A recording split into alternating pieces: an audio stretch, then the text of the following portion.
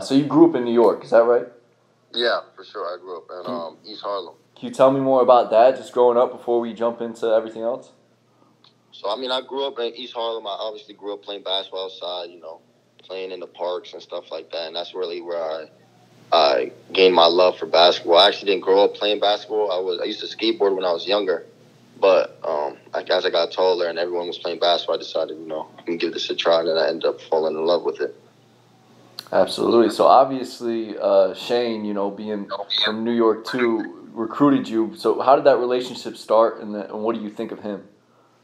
Uh, Shane, Shane's a great guy. I mean, he, he called me, he reached out to me, and you know, he let me know that there, there was a real interest there, and that he let me know a little bit about himself, how he grew up in New York, and we know some of the same, same people. So it, it was real easy getting to know Shane, and, and that's my guy now. So you know, obviously it worked out for the best, and, and now I'm going to K State. So I really, I was really um, happy and enjoyed getting to know him. And then, what are your thoughts of uh, Bruce Weber and you, you know the staff as a whole? I mean, I feel like you know Kansas State, uh, Coach Weber, he's done a great job while he's been there. He's been there for a long time, and he's done some really great things while there. I mean, winning the conference a couple times, getting to the Elite Eight, making the tournament, uh, plenty of twenty-win seasons. So you know, for me, I feel like you know the, the going there, learning from someone like that who, who's done winning at the highest level. I feel like there's so much I could learn from, and then the rest of the coaching staff as well. I just feel like they really know what they're talking about. And the strength coach, I I met with him and talked to him a little bit on the Zoom, and I was really intrigued and really loved what I saw what he was doing with the with the guys. So that was a big part for me as well.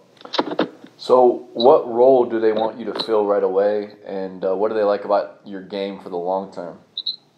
Uh, they feel like for me, you know, they, they, they didn't have anyone like me. They had a real need for someone with my skill set and that you know that stretch forward, that skilled forward type position, and they felt like I'd come in, make an impact right away, and then give them something, you know, to, to some veteran leadership in terms of playing in ACC two years and just give them something that they didn't have before and fill a big void and have a, be a major contributor for the team. For sure. So, assuming you've never been to Manhattan, from afar, what's the perception of the town and the campus and the school to you?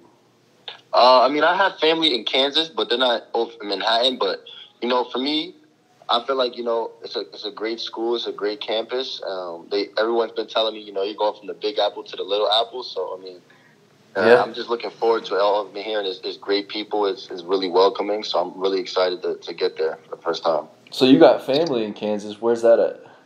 Uh, I think they live in Overland Park. Oh yeah, so KC area. Yep. Yeah, yeah, yeah. Have you ever been around there at all? Or yeah, yeah. When I go visit them, I've been around there a couple times. For sure. Um, what what other schools showed interest in you in the portal? Uh, you know, it was a, it was a lot of schools. I mean, it got like Vanderbilt, um, University of Utah, uh, DePaul, uh, UC Santa Barbara. It was like you know I was in the portal for a while, so it, it felt like almost you know almost every week or so, every other day, like a new school was calling. So yeah. it's too many schools to almost name. For sure. Do you have a were all those schools offering as well, or is there a shorter list of actual offers from schools?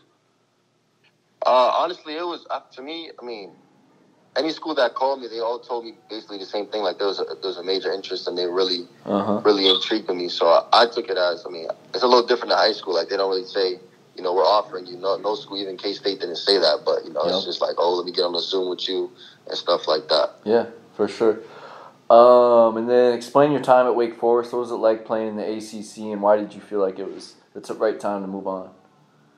Uh, I, I, enjoyed it. I love Wake Forest. It's a great university. Uh, Coach Forbes and his staff are, are amazing. They're going to do a great job over there. And obviously, uh, Coach Manning and, and all those guys that recruited me there. I had a great time. I learned a lot. Playing with some great players like you know Chaundee D. Brown at Michigan, Olivier Sarr, Kentucky, uh, Brandon Childress. So you know I, I enjoyed it. I enjoyed it. I learned a lot. I gained a lot of experience playing in ACC, playing against great competition, playing against great schools. So I feel like it's only gonna um, help me when it comes to coming to Kansas State this fall. Absolutely. Uh, did you watch any K State games this year? I mean, obviously it wasn't you know a great season, but they finished the year on a on a nice note. Um, what did you think of that season? If you did see any of their games, I actually didn't watch any games like while it was going on, but I watched some of the, the games from you know just rewatching it mm-hmm. and stuff like that. And I, I mean, Coach Coach Weber, he had a lot of young guys, and he played he played them, and, and they gained a lot of experience, kind of similar to how I felt my, my first two years. Like I, I learned a lot, and I feel like you know, this year coming up with the people we got coming in and the people they got there, it's like the sky's the limit, and we could do a lot of great things. Yeah, uh, I I guess yeah. Like, how much does bringing in um, other transfers on top of you too kind of help you think that this team's really headed in the right direction too?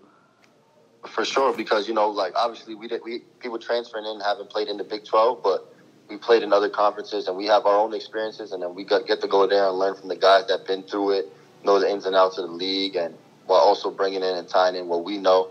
I just feel like it's a recipe for success because we all can learn from each other and and just help uh, bring different things to the table to, to add to the success. So what's the plan going forward? I think I know you you can uh, get on campus here in a couple months. So what are you going to do now and between then, and then when do you plan on getting on campus and uh, joining the team? Uh, well, right now I'm just at home. I'm working out, uh, making sure I, I get my workouts in and stuff like that, and finishing up my semester at Wake Forest and just watching watching as much film as I can on that when I come in, I'm not I'm not totally learning everything new and just trying to build relationships with the guys. And I think sometime first week of uh, I plan on coming in. You said first week of June. Yeah. Yep. Um, and then uh, have you talked to anyone on the team yet? Uh, I've talked to uh, to um, a few guys. We actually just made a new group chat with a bunch of the new guys uh, uh, the other day. So you know, obviously, a Marquis. I knew Marquis for a while. Yeah. Uh, being from New York. Um, Nigel. I, I, I follow some of the guys on uh, Instagram. Max, being from New York as well. Um, who else? Actually, on my first Zoom call, on a second Zoom call I had with the coaching staff, I actually see Mike, Mike McGuirl for the um, for the first time I seen him as well. So he was kind of the first guy to reach out. Good stuff. Uh, and then, um, yeah, I mean, if you, what, are they just excited to have you there? I'm, I'm guessing those how those conversations went. For sure, for sure. I, that's another part. Like I felt like you know, they, they were on me, recruiting me the hardest, and they really made me feel like you know they needed me and they really loved my game and they want to really be there, help me get better, and they felt like I could really help the team. So it was it was a match made in heaven. So you still got three years of eligibility left if you decide to use them all, and you could use them at K State. Uh, what would you say you'd like to improve on, you know, at K State in the next three years if you decide do decide to stay three years? For me, I feel like obviously I want to uh, all aspects of my game. I feel like I want to be obviously shooting is my strength, but I feel like I'd be a more consistent shooter, more consistent player. Uh, continue working my defensive ability, my versatility, my rebounding, and just really all everything. I feel like there's a lot of um, a lot of uh, things in my game that I really wasn't able to display as much at Wake Forest for um, you know just lack of experience and just just going through the, the season. But I feel like at, K State with a different opportunity and stuff like that, there's a lot of um, aspects to my game like my playmaking and and my versatility and stuff like that that I'll be able to display. And then just a, a couple more. I, I, mean, this might be the last one, but what, what is your goal? You know, at K State as a team um, and what do you what do you hope to accomplish with them? Well, like I said, Bruce Weber, Coach Weber has done a great job there in, terms of winning and stuff like that. And like you said, last year they were playing a lot of young guys, and they didn't have the best season. But you know, this year the goal is, is the same. Like with the, talking with the coaches, is is to, to do big things in the Big Twelve, try and win the conference, get to the tournament, and make a run. So that's that's what we've been talking about, and I feel like that's more than possible.